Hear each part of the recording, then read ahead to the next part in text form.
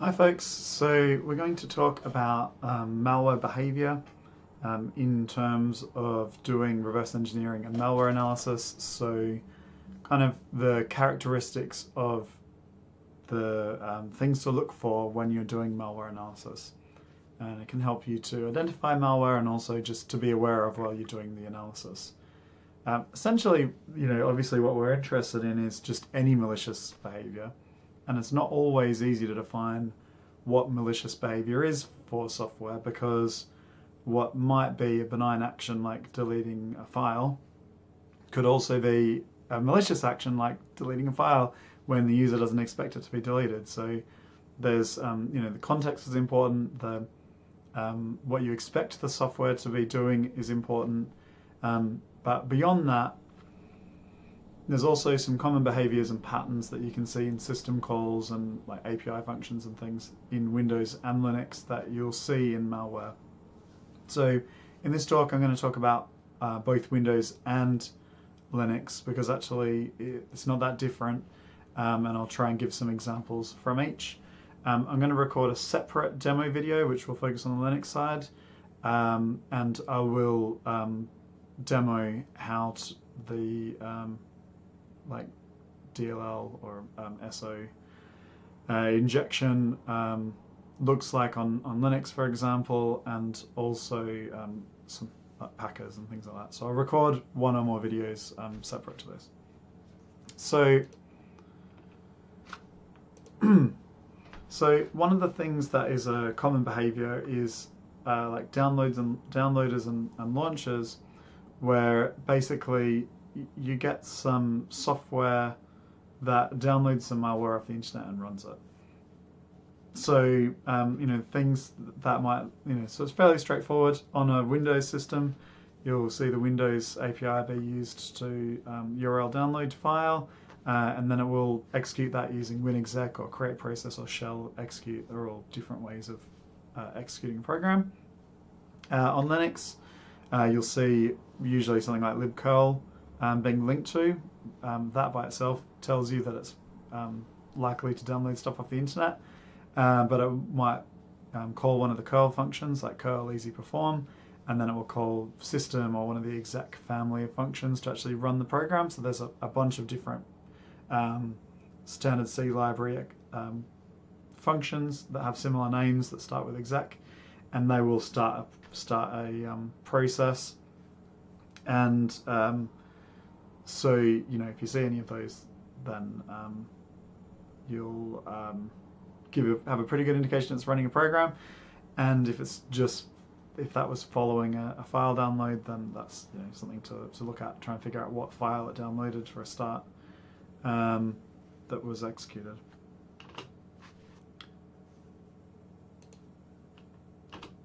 So backdoors are another common behavior where a um, where the malware wants a way to give an, an attacker remote access to the system, uh, and it might be either by just shoveling a shell at them, so giving them shell access, or it might be a more complete set of uh, functionality, so different commands that it responds to to do different things.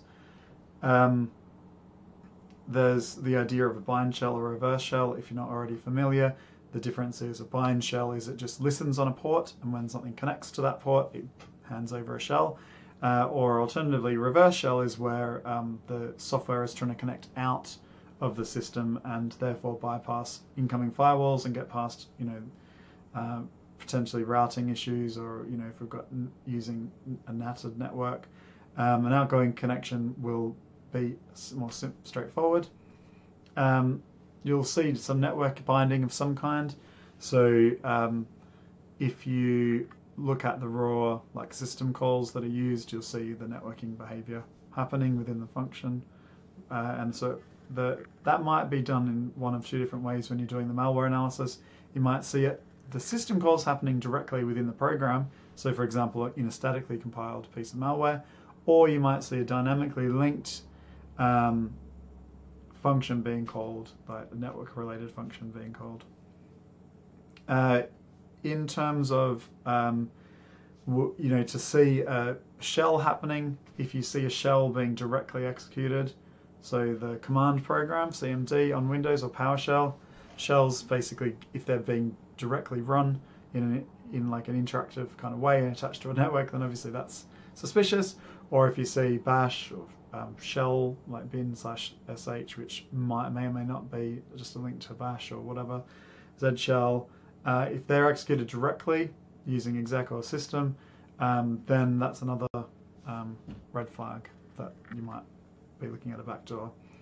And there are a few different categories. You know, there's a separate video I recorded about categories of malware that goes into more of the different ways you can categorize malware. But the behavior is similar across things like a, a rat or a botnet.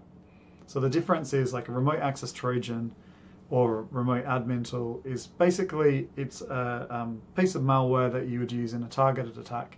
You send it to someone or get it running on some the attacker sends it to someone, gets it running on their system, and then um, you know connect to it or send commands to that system. A botnet is basically the same thing, except you're talking about lots of systems. So there might be 100,000 systems that are all on the same botnet, and they've been infected in various ways, and now they're all part of the one collective, and there's like one um, person or you know bot master or whatever that can send commands, and they get sent to or re- the commands are received retrieved from all of those um, zombies in the botnet or all those bots, uh, and then it will, you know. But other than that, they're quite similar. Because um, so usually they'll have like a list of commands that they accept. Um, you'll see usually if they're trying to if they're connecting out, they'll go out on port 80 or 443 because that's where most firewalls will let them. Um, the least likely to meet resistance or to look suspicious. Um, one of the things you can look out for is if it's um, on those um, ports, but it's not HTTP traffic. So it's just like actually a, just a direct TCP connection with some other stuff going on. Uh, and so that might be detected using um, things like um, Zeek um, intrusion detection system and things like that, where you can detect non-standard things happening on ports. But you know, usually malware malware authors are trying hard to not not look suspicious, so you know they could still make the traffic look like actual HTTP traffic. Um, if there is an in, if it uses an incoming port, it might use a quite a high port number, um, or it will just be on like port 80 or whatever. Like the, it's um, the old NetBus Trojan from the 90s was on port 12345, um, but that's not that common um, in terms of like what Trojans will usually do. Um, life was simpler in the 90s. We didn't have network um, address translation, so almost every single PC had their own IP address, and so a Trojan would literally just just listen on a port and follow the commands that it got sent. Uh, and now um, networking has you know moved on from that slightly. Um, and so, yeah, you'll you'll see it behaving a little bit differently. But the, the idea is still similar. Um, and so that you'll have a the Trojan horse will usually have a server component, which is the thing that gets run on the, the on the victim's computer, and then when it receives a command, um, it will run it. And if we're talking about a bot, then it will um, basically phone into like a command and control center and then it will all the bots will call in and run the same command often. Um, or if they're being more advanced, it'll be like a peer-to-peer network to make it harder to take the bot offline, um, the botnet offline. Um, another common behavior you'll see is credential stealing or hash dumping, and basically attackers want to know your passwords because uh, it's helpful. Uh, they might just still get something out of having a hash, like being able to do pass the hash attacks and things like that. Or if they get a password hash, they can do offline um, cracking to try and get your actual password out of the hash. So you know, as you'll be aware, like um, the um, passwords are usually stored in a hashed format on a computer, um, not in the clear. So when an attacker gets that, they can then try and crack that password. Um, and so ways they can get it is on a Windows system, they can use DLL injection, talk about in a minute, on um, LSASS, um, and the and if they use the um, the SAM server DLL, they, there's there's a um, they can use the APIs that are on the slide there to you know if you see those happening, then there's a, you know there's a chance that they're trying to dump the um, the SAM database, which is where the hashes are stored on a Windows system. Uh, on a Linux system, it's a, they just have to access the shadow file, which has the hashed passwords in it. Uh, normally, only root's allowed to uh, should only be allowed to access that file. Um, but you know, once the malware's on your system, um, if it's running as root, for example, it will access that file and get that information. Um, other thing you might see malware doing is monitoring the clipboard or browse, web browser internals for things like uh, you know passwords being copied and pasted or typed, or um, you know web browsers with you know credit card details and, and the rest of it. So if they are, um, the other thing they'll do is monitor the keystrokes.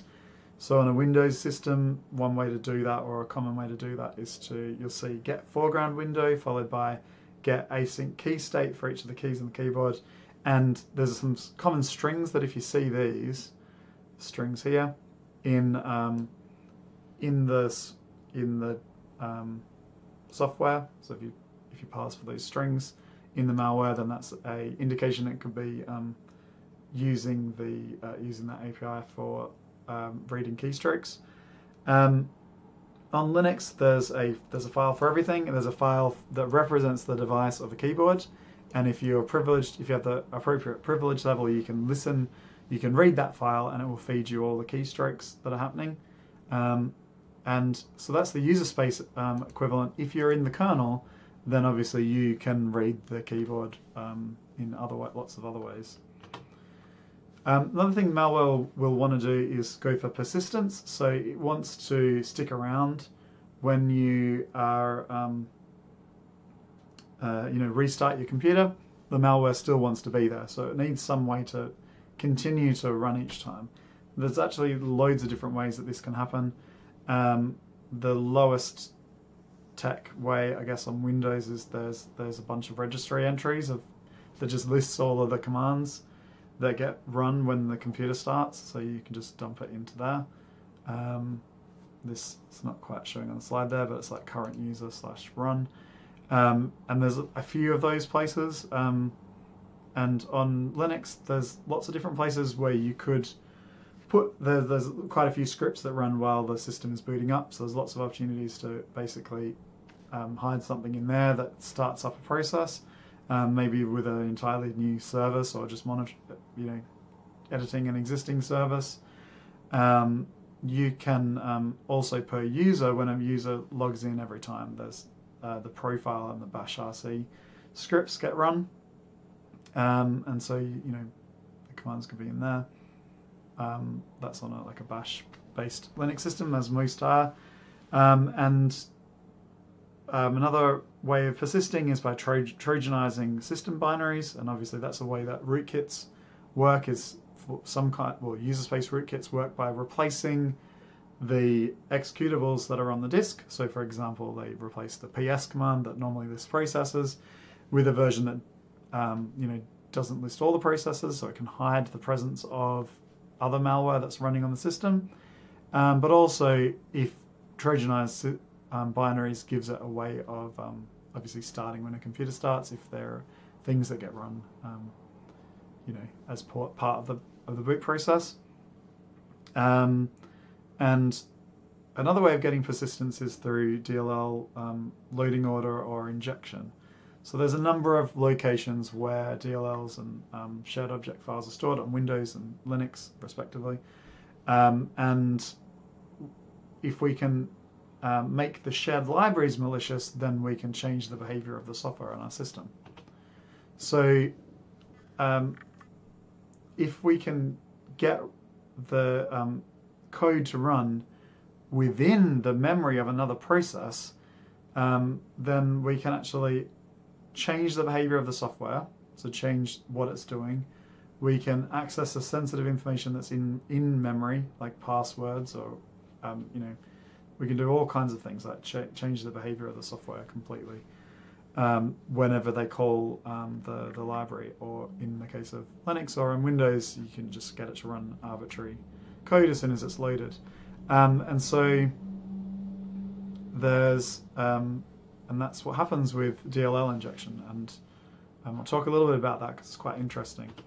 So and and as a, a common um, as part of attacks. So DLL injection on Windows. but- So broadly, there's two ways you can inject uh, DLLs: is by the lo- loading order or by injecting into a running process. So in terms of the loading order on Windows, there's there's a couple of places like app init DLLs and app cert DLLs that basically they list places to look for DLLs and um, load them into pretty much every process. So app init DLLs get loaded in every process that loads u- user32 DLL file. Uh, on Windows 7, um, it requires a signature on those DLLs, um, and you can't do it when you're using Secure Boot. Um, with app cert DLLs, they get loaded into every process that calls the um, create process function. So that's like a lot. So if you can get your DLL listed there, then your um, malicious code gets loaded into like lots of programs when they when they, whenever they start. Um, on Linux, uh, there's an environment variable called ld preload, and in that environment variable, you can list shared objects.so files. It's like the equivalent of DLL files on Linux, and um, they load will load before any other library, and it can overwrite any of those shared functions. So, for example, you could um, like overwrite the rand function, um, so that a um, program that tries to create a random number using you know a, a shared library that generates random numbers, you can tell it what number to use, which could be um, could mean that you could break the encryption that they're using, for example. Um, but it doesn't stop there. You can change the behavior of any of those functions and add whatever behavior you want to the software. As soon as those fun- functions are called, your software can, you know, your malware will do those things, which can include changing the behavior of the existing software um, and um, yeah, changing the behavior to whatever you want as an attacker. Um, the the other kind of DLL injection is force forcing the DLLs into another process. So there's a process that's already running on the system, and the malware is running on a system, and it wants to insert itself into the other process. And in on, on Windows, you can do that by calling create remote thread x, and then load library. And when that happens on Windows, it will trigger a DLL to be loaded, and the DLL has a main function, DLL main, which gets called. Uh, and a lot of um, like DLL injection will just have that main function, will have the the bad stuff in it, and it will do that.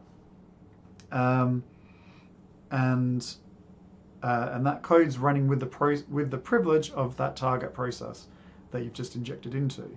So um, the even if you're on a um, normal system and you can um, you've got a certain level of privilege, like an admin level of privilege or a user level of privilege, there still might be different restrictions based on different processes.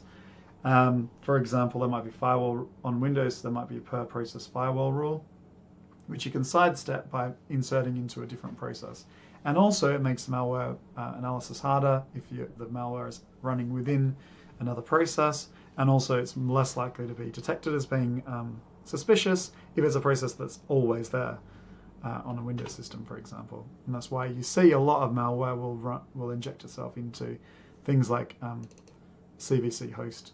Um, so direct injection is basically the same thing, except that rather than loading a library file like a DLL file or a SO file, it will actually inject the shellcode directly like into a running process and execute it within that process. Um, it's more tricky um, to do it in a way that doesn't impact the original um, code flow, um, and you know not um, you know try and avoid avoid the pro- program from crashing or tripping up the security mechanisms that detect those sorts of changes.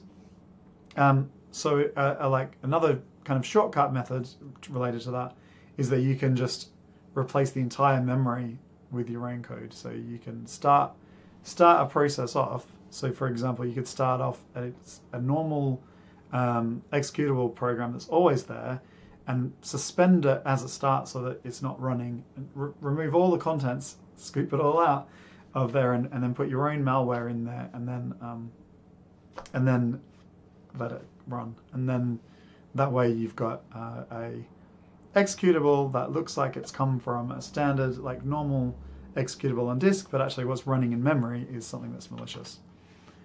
Um, and on Windows, there is a privilege called SEDebug privilege, and it is just by itself as a red flag that uh, because it's like super um, powerful in its ability to do these kinds of things. So any program that has that can access the memory of other processes and, and inject code. So here's an example of how um, actually the Meterpreter um, payload works is it uses open process, which gives it access to the memory of another program, is how it can migrate from one program to another. Uh, then it uses virtual alloc um, to allocate um, some read write execute memory in that process, and then use write process memory to actually write the payload into it, and then you create the remote thread using that, and um, and then you've got it running. So any process that enables that privilege is a red flag, um, and you need local admin rights in order to do that. Um, which on a lot of people's like home PCs and things, they will be local admin of their own system. So, um, you know, if you see that happening, then it's a it's a red flag. Um, and a process calling create remote thread is is also interesting, um, and it could be related to you know doing the DLL injection. So the the other thing that malware will try to do is to look different, so to to um, avoid being detected. So, you know, malware authors want to uh, have different versions of them of the same malware so that it gets past um, anti-malware. So, um, an executable packer will basically um, compress the code um, into an executable that when it runs, it decompresses um, while it runs. So there's um, packers are not just used for malicious purposes. They're used even if you just want to release some software. Uh, it just makes the executables smaller, so they're not specific to malware, but they're used extensively by malware so that they end up, you know, being different because it modifies the signature. So, you know, the most common packer is um, the Ultimate Packer for Executables, UPX, which is a um, GPL uh, licensed open source packer, and it works on Windows and Linux and Mac. Um, and other packers will include like encryption, so that you can, or if you use any packer, it will mask strings from being detected from a um, static analysis. Um, and encryption in particular will hide it and make reverse engineering more difficult. Um, anti-malware typically will automatically strip away packers, like ones that it can automatically detect, um, so that it can get at what's inside before it does the analysis. And often you'll actually have multiple layers of packers used, and you can use um, you can have hidden payloads within malware, so where you've got code encryption and obfuscation, um, and the code itself might include a decryption function so that it can run the code that's encrypted. Uh, you've got polymorphic code, which is where the stored code changes each time. So that's like if you used a different packer it, uh, or created some difference to the way that you're packing it each time, you can end up with a different version of the source code. But even when it, once it unpacks and runs, it's the same code running. Whereas metamorphic code is where the actual executed code changes. Um, and so the actual code that's running in memory might change, and it could do that by using different instructions, um, like lots of nops. Like a nop instruction is a CPU instruction that does like nothing. It's a not, not like a no operation function. But there's also you just can call a bunch of um, uh, meaningless things that swap around the contents of registers and things that don't actually affect the the actual behavior of the software. Um, so yeah, you can do that, and um, you know, it might just reorder the commands, uh, add extra loops and things like that, so that the software keeps looking a bit different each time. Um, and some of the other common behaviors that you might see is trying to detect the presence of anti-malware. Um, so that might be like looking at um, looking for emulation, um, looking for any kind of debugging. So if it, it, detects that you're attaching to the process, to you know detect that. Um, looking for um, VM that it's running within a virtual environment. Um, nowadays, a lot of stuff happens in VMs, like a lot of servers and things. But if it thinks it's on a home computer, and it, it's in a VM, then it will, stop or just like never run in a VM because it's more likely that someone's trying to analyze me and understand how the malware works. Um, sandbox detection, similar thing, monitoring detection, um, and you know that an antivirus software is running. All those are things that, if you just even if you can see that the malware is looking for those things, that in and of itself is a red flag that you've got some malware on your hands. Um, and just generally generating obfuscated or encrypted code, um, and what that means is your code ends up being a high entropy. So if you analyze a binary and it has really high entropy, um, so there's like a lot of randomness to the data, and then that's a sign that maybe it's um, got a packer involved or it's got encryption on it, which is a bit of a red flag that you need, could investigate a bit further. So, in conclusion, there's lots of common common behavior that we find in malware. Uh, it really helps to be aware of these things, um, and you will become familiar when you start analyzing malware. Uh, but there are legitimate reasons to call many of these same functions, um, and malware will try and evade detection and try and make your life difficult if you're trying to analyze it. Um, so that's worth keeping in mind.